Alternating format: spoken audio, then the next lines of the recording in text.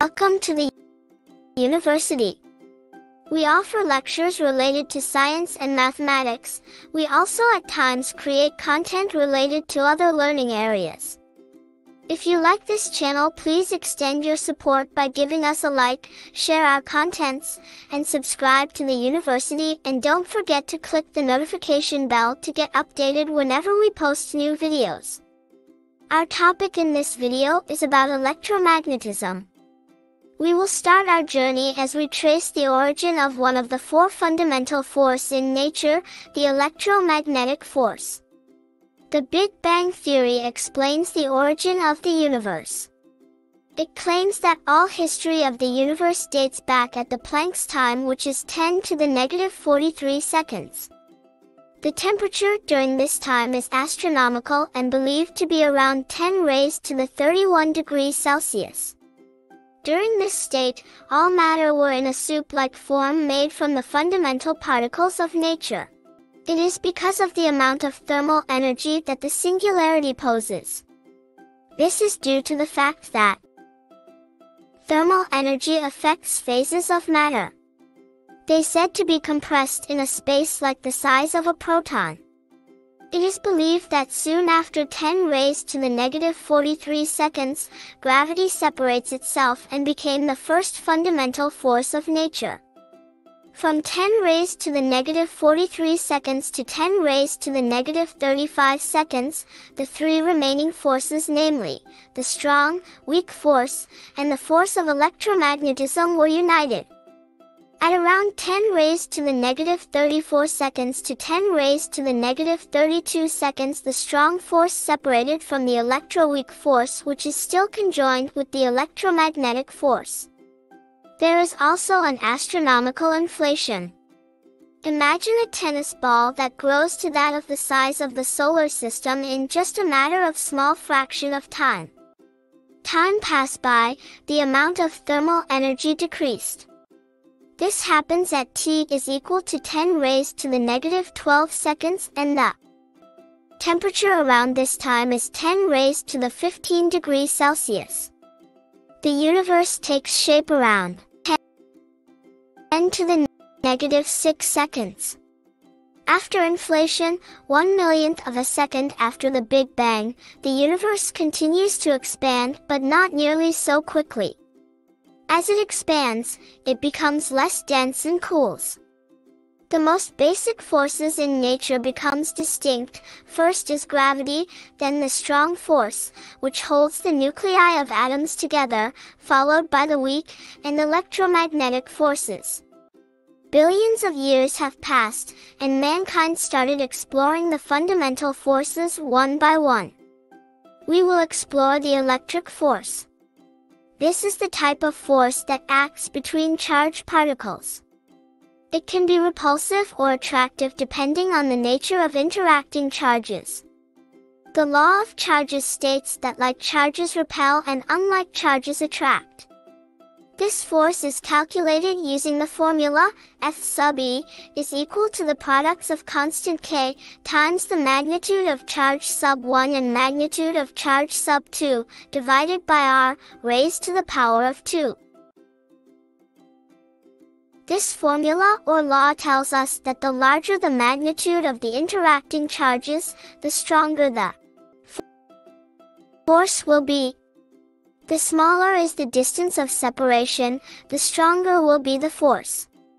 The magnitude of the electrical force is directly proportional to the magnitude of the charges and inversely proportional to the square of the distance that separates them. The electric field. How do charges know where the other charges are located? The electric force is distributed over an area. It shares the properties of electric force acting over it, making it an electric field. Strength of the electric field.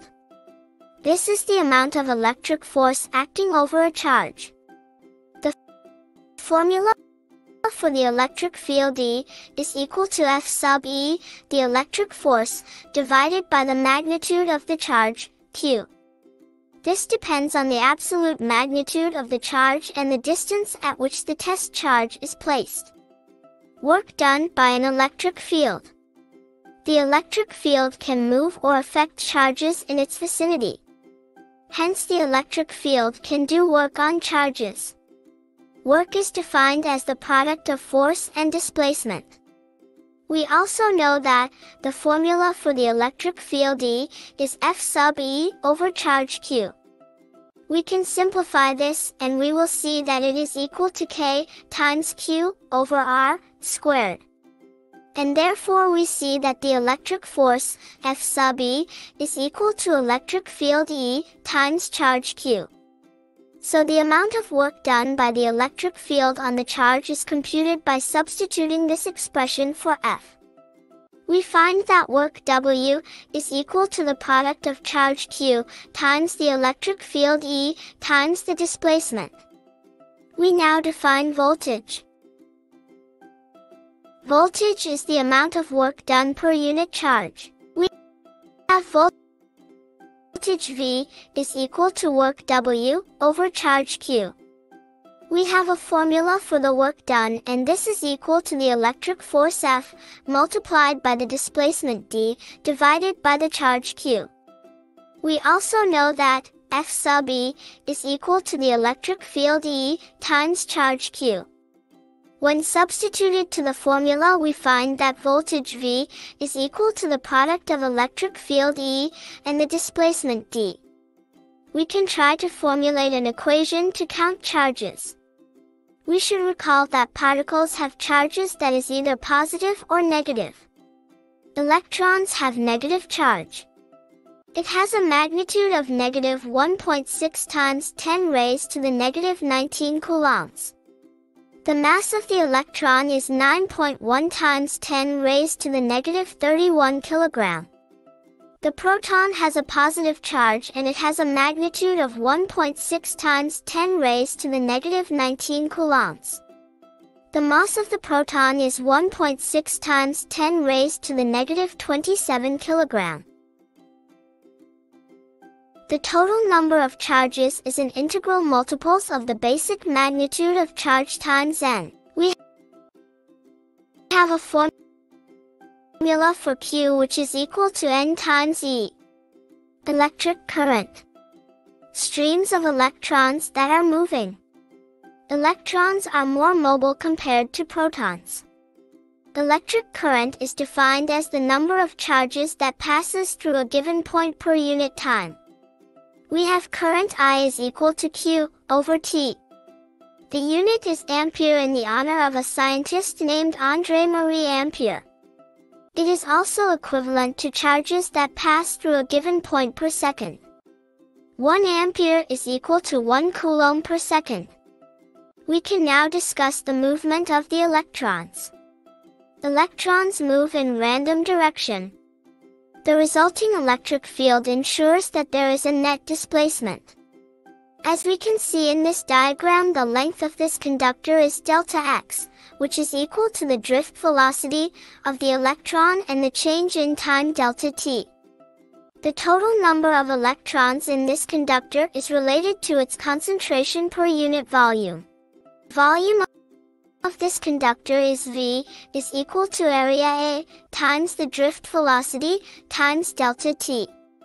We can see that the total number of electrons inside the conductor at any given time is equal to Q, which is equal to N times V. This is equal to N times Q times A multiplied by the drift velocity and delta T. We see that if the number of charges changes per unit change in time, the current in the conductor is given by I, is equal to delta Q over delta T. This is equal to N times Q times A times the drift velocity V sub D. We can try to find the electric current per cross-sectional area. The current per cross-sectional area is called current density J. It has a formula, current density J, is equal to me over A. We will see that current density J is equal to N times Q times the drift velocity V sub D. The units for the current density J is equal to amperes per square meter. We can also explore the relationship of current density J to resistivity. Find that current density J largely depends on the magnitude of the electric field. Different materials reacts differently to electric field. In metals, the current density J is directly proportional to E. This relationship is called the Ohm's law. Discovered by the German physicist George Simon Ohm, 1787 to 1854, in 1826. We define the resistivity rho of a material as the ratio of the magnitudes of electric field and current density. We have a formula for the resistivity rho is equal to E over J. The electric field E is found using the equation rho times current density J. We know that energy is lost during collisions. If we have a conductor with uniform cross-sectional area and uniform length L, and we apply an electric field, charges will react to the field and a potential difference will develop at the ends of the conductor. Charges tends to flow from higher voltage region to lower voltage region. The energy possessed by the charges is gradually lost because of numerous collisions. From the previous definition of current and voltage, we can see that voltage V is equal to E times L, where L is the length of the conductor and current I is equal to current density J times A. Solving for E and J gives us E is equal to V over L and J is equal to I over A. We can substitute this to the equation of resistivity and find the amount of resistance in a circuit. We can see that the resistivity rho is equal to V times A over I times L.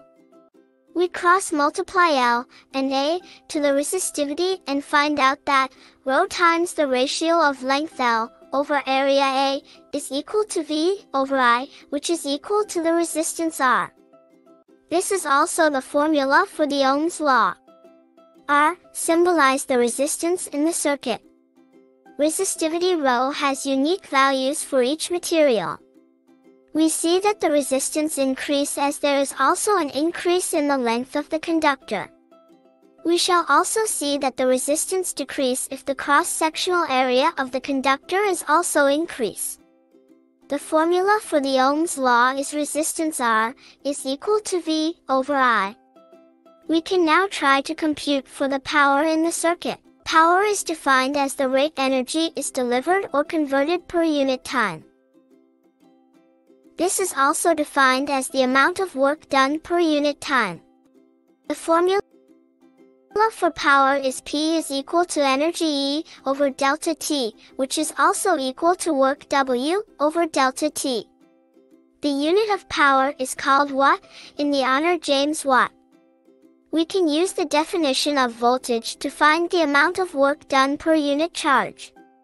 We see that the change in work denoted by delta W is equal to delta V times the charge Q. Substituting this to the equation of power, we find out that power P is equal to delta V times delta Q over delta T. This is equal to power P is equal to V times I, or P is equal to I squared R.